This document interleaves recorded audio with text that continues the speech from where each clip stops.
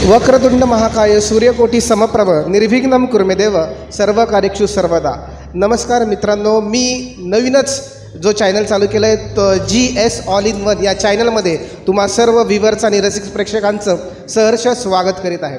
मित्रांनो या चॅनलमध्ये आपण पाहू शकता माहिती तंत्रज्ञान कला शिक्षण वाणिज्य या सर्व संस्थांचा आपल्याला व्हिडिओज या चॅनलमध्ये आपल्याला पाहावयास मिळतील.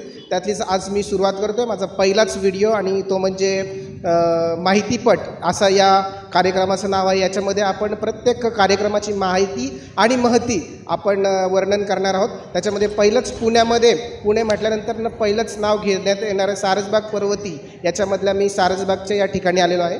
आणि आपण बघू शकता राईट साईडला की इकडून स्वारगेट. स्वारगेटवरनं येणारा हा रस्ता त्याच्याबरोबर डाव्या बाजूला सारसबाग आहे. आपण पुढे जाऊया. ठीक?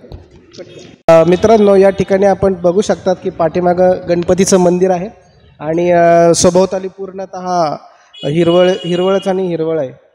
सारसबागेचा पूर्व इतिहास जर पाहिला तर श्रीमंत नानासाहेब पेशवे यांच्या कारकिर्दीत पर्वतीच्या पायथ्याशी सन सतराशे पन्नास साली आंबेल ओढ्याच्या सीमेवर एक कृत्रिम तलाव तयार करण्याचे काम सुरू झाले. सदर तलावाचे काम सन सतराशे पन्नास ते सतराशे त्रेपन्न या कालावधीपर्यंत सुरू होते. सदर तलावाचे क्षेत्र अंदाजे पंचवीस एकर एवढी विस्तीर्ण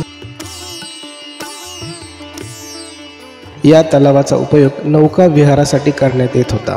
त्यानंतरनं बेटावर सुंदर बाग तयार करण्यात येऊन श्रीमंत सवाई माधवराव पेशवे यांनी या बागेचे काव्यात्मक सारसबाग असे नामकरण केले.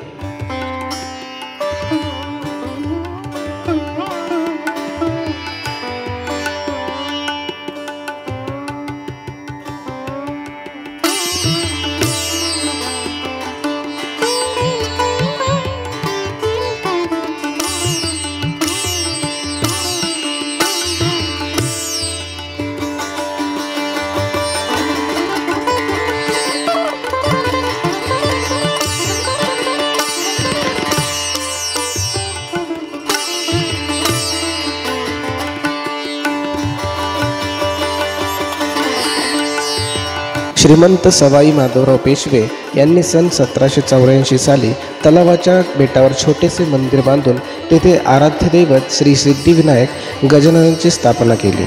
सहजिकच पर्वती सारसबाग आणि तलाव ही पुणेकरांची फिरवायस येण्याची व देवदर्शनाची ठिकाणे झाली.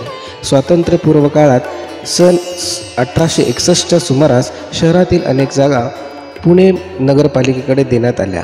त्याच वेळी गणपती मंदिराचे बेट सोडून तलावाची जागा मुंबई सरकारने पुणे नगरपालिकेकडे हस्तांतरित केली. पुणे नगरपालिकेकडून साधारण सन एकोणीसशे सहासष्ट साली तलावाच्या जागेत उद्यान विक विकसित करण्यात आले. मित्रांनो अशाच अनेक ठिकाणच्या आपण माहितीपटाची माहिती पू पूर्णोत्तर घेत घे घेणार आहोत. तोपर्यंत नमस्कार.